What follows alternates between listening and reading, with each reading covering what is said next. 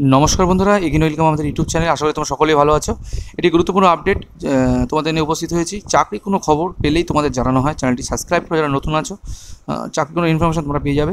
আজকে আনন্দবাজার পত্রিকা, পাঁচ তারিখ আজকে। আজকের এই খবর, দেখতে পাচ্ছ চুয়াল্লিশ শতাংশ কনস্টেবল পদ শূন্য, পদই শূন্য রয়েছে রাজ্য পুলিশে। চুয়াল্লিশ শতাংশ পদ রয়েছে।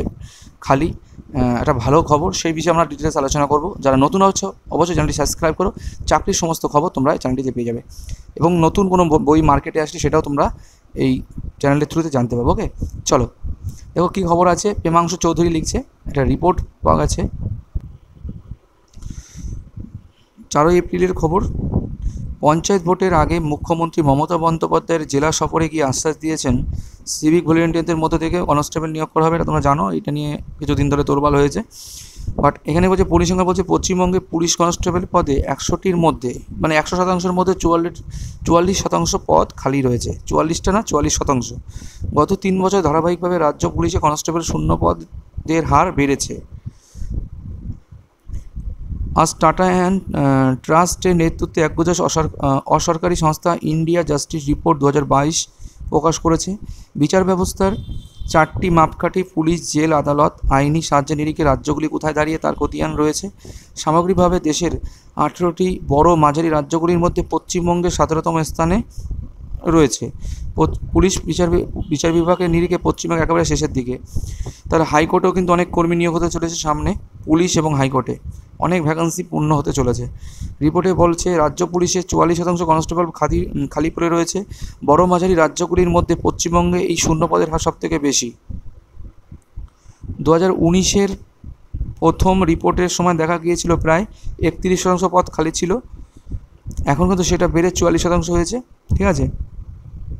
পুলিশ অফিসারের পদে চারটির মধ্যে একটি পদ খালি পড়ে রয়েছে। পুলিশ অফিসারও কিন্তু নিয়োগ হতে চলেছে। গ্রামীণ এলাকায় থানা পিছু, জনসংখ্যা তিন লক্ষ ছয় হাজার বেশি। মানে এক একটা থানায় আন্ডার তিন লক্ষ ছ হাজার বেশি রয়েছে, ঠিক আছে? জনসংখ্যা মানে এক একটা থানার অধীনে তিন লক্ষ ছ হাজারের বেশি মতো ক্যান্ডিড মানে তোমার পাবলিক রয়েছে। অর্থাৎ গড়ে তিন লক্ষের বেশি মানুষের জন্য একটি থানা রয়েছে পশ্চিমবঙ্গে।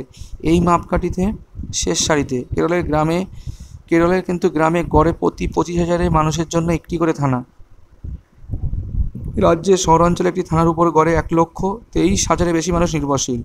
আদালত বা বিচার বিভাগের নিরিখে পশ্চিমবঙ্গে পিছিয়ে থাকার জন্য এর পিছনে রাজ্যের কম খরচকেই দায়ী করেছে রিপোর্ট, কারণ রাজ্যে বিচার ব্যবস্থার পিছনে জনসংখ্যার মাথা পিছু মাত্র পঁচাত্তর টাকা খরচ। এটা দেখতে পাচ্ছ এগুলো আমাদের দেখার বিষয় নেই, কিন্তু তোমরা একটু বুঝতে পারছ তোমাদের ইনফরমেশন হাইকোর্টের কর্মীদের মধ্যেও এখানে দেখো, হাইকোর্টের কর্মী মানে কলকাতা হাইকোর্টের একত্রিশ শতাংশ পদ খালি রয়েছে। সেই সামনে কিন্তু দুটো রিক্রুটমেন্ট আসতে চলেছে। হয়তো দেরি হবে, কবে হবে সেটা বলা মুশকিল, কিন্তু তোমাদের এই ভ্যাকান্সি পূর্ণ হতে চলেছে। পশ্চিমবঙ্গে পুলিশের অফিসারের শূন্যপাত পঁচিশ পয়েন্ট দুই, পুলিশ কনস্টেবল একচুয়াল্লিশ পয়েন্ট এক, ঠিক আছে? সো এটাই ছিল তোমাদের সবথেকে একটা গুরুত্বপূর্ণ আপডেট কনস্টেবল পদের শূন্যপদ নিয়ে। সবাই যারা নতুন আছো, দেখছ, তারা প্লিজ চ্যানেলটি সাবস্ক্রাইব করে, বন্ধুদের শেয়ার করো। তোমাদের ভালোবাসা আমাকে এগোবে কাজ করার জন্য তোমাদের জন্য। আর চাকরি কোনো খবর পেলে এরকম তোমাদের আমি জানাব। সকলেই ভালো থেকো, সুস্থ থেকো। দেখা হচ্ছে নেক্সট কোনো গুরুত্বপূর্ণ আপডেট নিয়ে। বাই জয় হিন্দ, জয় ভারত।